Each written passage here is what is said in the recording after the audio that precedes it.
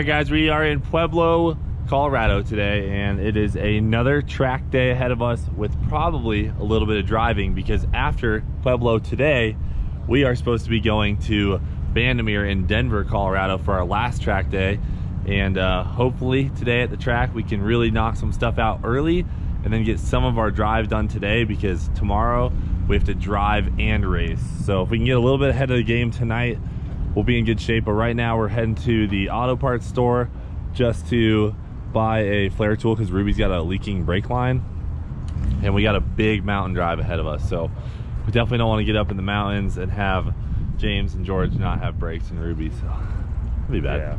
So we're gonna get these brakes fixed up on Ruby and uh, then we're also gonna hit uh, Walmart, maybe buy ourselves a kayak, do some whitewater rafting, which uh, gets me fired up. Go. Brent and I are excited. We're gonna get a two-seater this time. All right, guys. We got a little bit of regular maintenance going on. James had a leaky brake line. Uh, we had a we had a bolt that stripped on our rear shock, so Brent's just fixing that up real quick. And then Cooper is working hard. What do you got, Coop? I, I bought a hat. Damn. Snapback. Is that a real diamond plate? Yes, it is real plastic diamond Is it bulletproof? We can test. Maybe. Maybe Uncle Chad has something. Yeah, freaking George's over here super clean. And uh, we'll be back on the road to Walmart in a minute. All right, folks. So we actually have found a sporting goods store because we went to Walmart and their selection of kayaks was terrible. And you know, it's just too hot. We need to get more than just one guy in the kayak or canoe or whatever we end up with. So we go in here and find something. Fire me up, dude. We could whitewater raft in that Yeah, oh, thing. that's a raft. That is I, I think we go raft because then we can actually go like Yeah. legitimately rafting. legitimately. Dude, that looks just like Alex. Dude. Look at it. it does look like Alex from the track. Look at the uh, the pump and everything though. Yeah, that's. How about this? Each team pick their own boat. All right. Each team pick their own boat. All right, you guys, you guys pick your boat, and we each need life jackets, and we're having a race.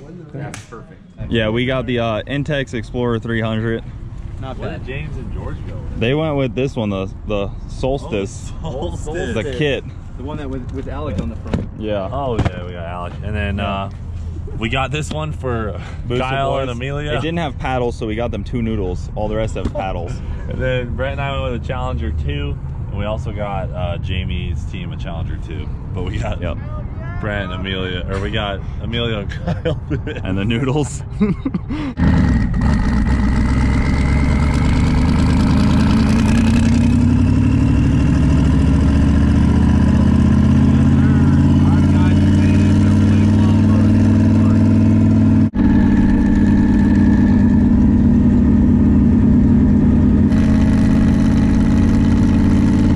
Each of you have been invited to the Rocky Mountain Race Week Whitewater Rafting Invitational, which will be hosted tomorrow in the Rocky Mountains. so, Jamie, this is for your team. hold on, hold on. Yes. Okay, we got life jackets, pals, and then uh I got Kyle's team. Oh yeah, oh yeah. That's me and the this is you and Emilio. and we got so we got you guys Me and my son? noodles. We got you paddles too. didn't come with paddles. So you guys are. got the blue one. And they, they were out of the good ones, so What's that's in here, dude? Look how small this is. There's a whole boat in there. So that's all you get, bro. One child and one boat. Just be happy we got you a boat, bro. Yeah, you didn't. Uh, I ain't never had a friend buy me a boat. Our age is six years old, bro. Six plus. No. You're That's the dumb. tiny boat. You're six. and the life vest. Hey, I So- like my boat. Tomorrow, we'll see you on the mountain. Okay, we're gonna find a spot. We got life jackets. We're pulling over, and we're gonna run it four wide. Right? We got four boats. Yeah, I think we have, Yeah. No, we have five boats. We have five boats we'll be running. All right, you guys are gonna love this. So, Brent and I haven't opened the intercooler tank since we got here. We're gonna be we're gonna be real with you guys. We haven't iced the car a single time, but it was hot because we just drove here. So we are like, let's toss a bag of ice in it. Toss a bag of ice in it. Flip the switch on. Intercooler pump hasn't even been working this whole time.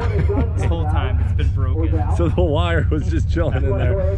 Could have happened on the way here. Could have happened a month ago. I honestly don't know. I haven't checked it in so long. So uh, we're just fixing that up really quick. Super easy fix and might actually just pick up time just by having the intercooler working. I had the switch on, I just didn't have a functioning pump. Brent and I are so confident in our cardboard building abilities. We got permission to run with the roof on. Do you think it'll stay? Um, will it stay on the vehicle? Yes. Yes. Will it be in the same shape it is right now? Probably. Really? I worry more about the sides than the. No, we already ran with those on. Oh, you did. Yeah, those are uh, those are they create a vortex behind us. Yeah. All right, Brent, we're good to run with the roof on. All right. Because we're low on duct tape, so we don't want to have to cut it off, tape it again. I was like, you know what, I'll go ask. Okay, guys, so what we ended up doing is running our wire through the vent line because this bulkhead is so damaged. So we'll be connecting our 12 volts right here, right to this wire, which will go through the vent line, come out in the tank so that the lid still seals and we'll be good to go. Good to have some water flow through the uh, intercooler, you know? It's nice to have, especially when you're driving. We were wondering because the car started running a little bit hotter than it was. I mean, the car's been running kind of hot all week. And I think that might have something to do with it because we have all of our intake air temp just going through a heater core essentially Yeah. yeah. with much. no heat exchanger, no flow, no nothing.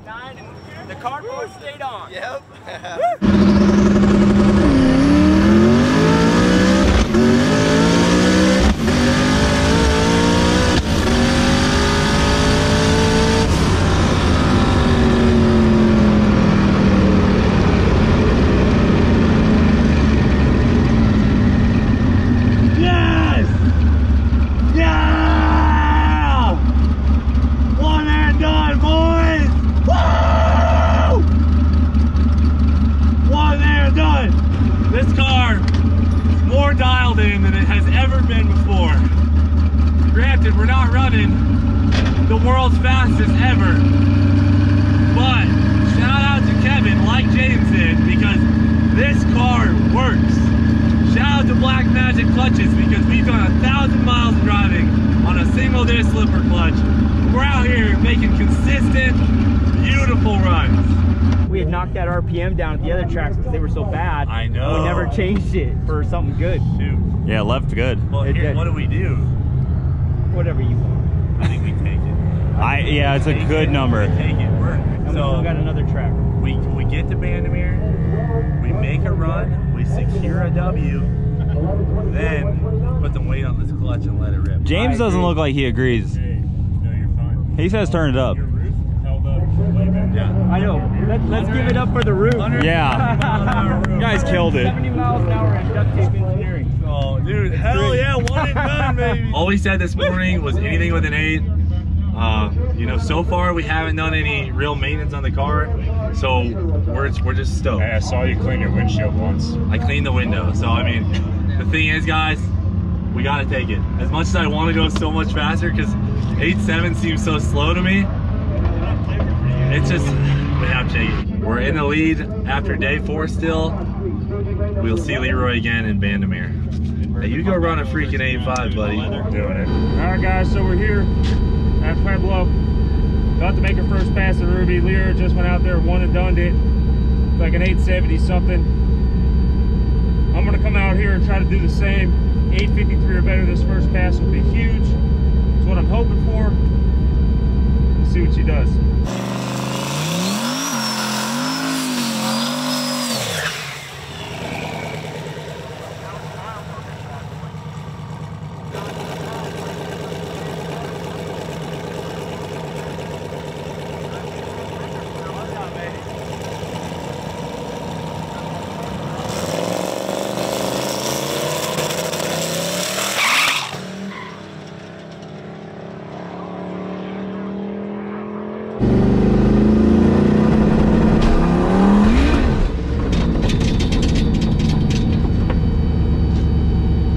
Just the broken axle. Good thing we have a spare. Can you shake around the carnage for me, George? Shoot every bolt. See what we got. That ain't good. Ain't too good. You guys remember last year, we had bolts backing out at this point in the trip, and that's how we broke our torque tube, because Bandimere was our fourth track. We're on our fourth track right now.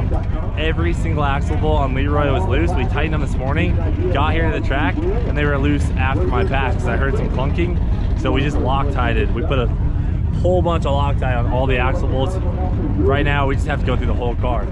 George did find some loose axle bolts on this side of Ruby, and I'll bet you there were some loose ones on the driver's side, and that's what just cost us the axle, because the axle was actually all right, the bolts broke. So I had two stuck uh, studs that were two bolts that were shoe that are tight.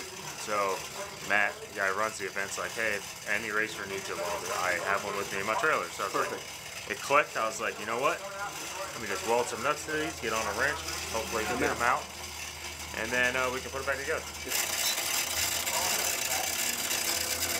Okay, what about another nut? Another one? We can do it front of it? Is that one already? One Mississippi, two Mississippi, three Mississippi, four Mississippi, five Mississippi, six Mississippi, seven Mississippi, eight Mississippi. Yeah, not bad for dropping it. I screwed up. this is why I'll never get recruited to a NASCAR team on something. You guys see him drop that socket? so right now, James and George are trying to get finished up, and then uh, we'll be on our way. Well, hopefully. I think they're I think they're having some luck though. They're getting the sheared bolts out. We got the bolts. The axle's fine, so they should be able to run that axle still. We do have spares, but uh, just letting them work.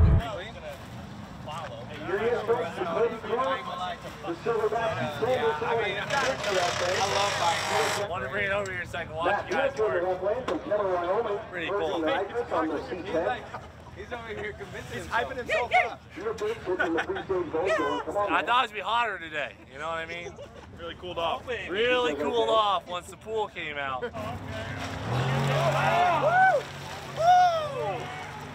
Oh, this is nice. James, how's it going? Over there. Woo! Really glad I brought this ice bath on this not a very hot day. But I feel like I'm doing like one of those sports training things. You know, we're on tents, we're on the road. I need this. Oh yeah, I need that. I got some Mountain Dew here, though. Uh, get you a do.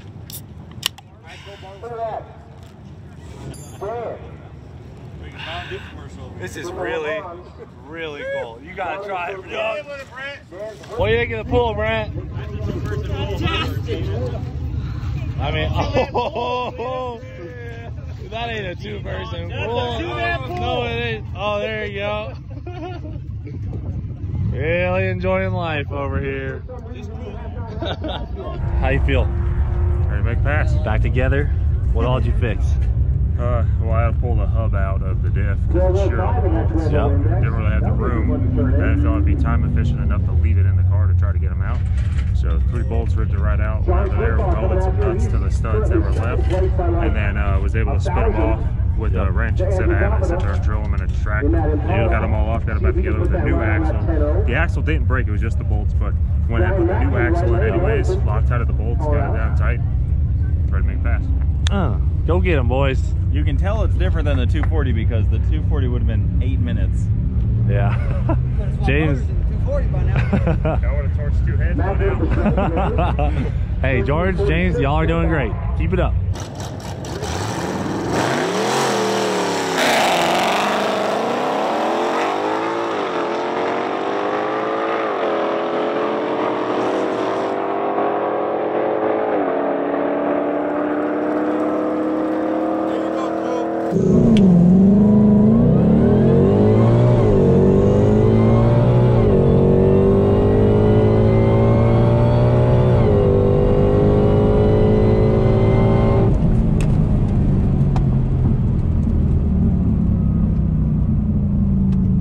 Oh, I don't know. That launch was definitely better. It's got to have been faster. 11 12. Hell yeah. That is a great sit seat on the uh, on the board there. 11 12. Snarky, if you're watching this, Justin, VMP, really think you guys might want to donate this car to your boy. He seems to be a real expert. No, I'm just kidding. Rebecca's still much better of a driver in this car than me. All right, guys, so it's getting a little bit later in the day, but Ruby's fixed. She's going for a rip. We really need this to work out. We really need this pass. Hopefully everything in the drivetrain's okay.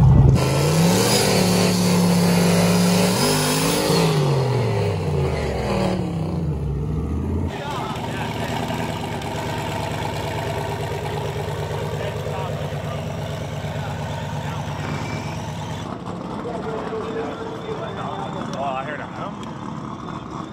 Did it pop in a neutral? I, I don't know. It was, it was doing a burnout and then it revved. We're not sure Lewis there in the right what's going on, if we got a trans issue or the rear end is, is tore up. Jason But Hurley. he's going to try and do another burnout. It backed up. It seems fine. This should be a good race. I don't really know what the diagnosis is. Quentin Lewis with the 75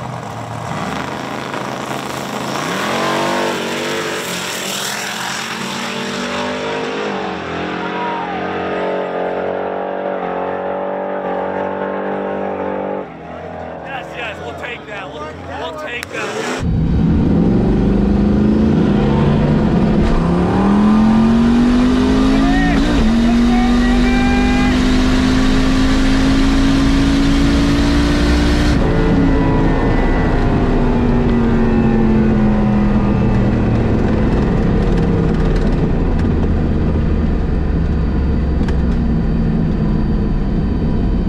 All right. Not really sure if that was a good pass or not. It was almost seemed like it was slipping. You know, at this stage of the game, I gotta have something. You know, might have to do a drain and fill if it smells bad. I mean, it, it almost seemed like it slipped in high gear. You know, it was on the verge of breaking the tires loose through low gear, and as when it was getting up into high gear, ready for the shift, it flared real bad when I shifted. So I went to 861 at 159, 130, 60 foot. So the ticket looks normal, but that, that shift is what really got it. This is a good slip though to have. You know, an 861 is not slow by any means. It'll definitely still secure me in my first place spot. It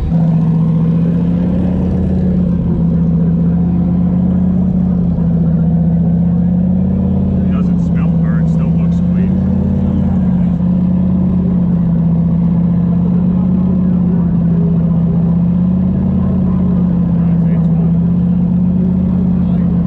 Yeah, we, we already 159. calculated your average with a 9, and you're still at an 856 average. Yeah. So I mean, I just want to make sure the car's good before Yeah. we just let's go drive 200 miles kind of deal. I know, but are you so are you good for the night though, or are you gonna run again or take it? I mean, I, I calculated the other guy's average, who's second, and he's got an 863.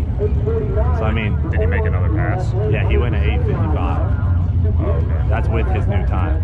So I mean, he's at a 63 yard at 56. For him to get down to your number is almost impossible. If you run another 61 or even a 70, you still win. Yeah. All right, guys, what's the verdict? Woo! That's, that's what you're gonna do. You're gonna take it. It's My driver, dude. Can't keep him under control. All right, so taking a 61, ripping a do. That's what I'm talking So we came here. We broke. Yep. We fixed it. We overcame. And what is 61? We had some transmission issues, but you looked over the car. What'd you find? Didn't really see anything that stuck out. I mean, uh, I'm still on the fence about maybe doing a drain and fill on the trans just to give it you know, Some a fresh fluid. life. Yeah. Yeah. Plus, also pulling, you know, draining the fluid if there is any clutch material or anything in the pan, it'll show. You know, Yep. the dipstick just touches the top of the fluid, so. Yep. But it, it smells good, looks clean on the stick, and it's still full. So maybe- Also, on changing the other axle. yeah, and I also was thinking of just for the sake of it, maybe putting the new axle in the other side too. Yeah. Just in case it's like an internal cup issue or inside that other end. Yeah, I know you heard a clunk. Yeah, it was making a clunky noise, so just for peace of mind almost. Was it still making it after the pass? Finish her up, get her back in street mode, and let's hit the streets. Hit the streets, All right, guys, that's it for today. It's been a little stressful, but uh, we made it through. Leroy and Ruby seem to be drivable, but uh, that's it for now. Thanks for watching Do for Dale. We'll freaking see you later. One day left.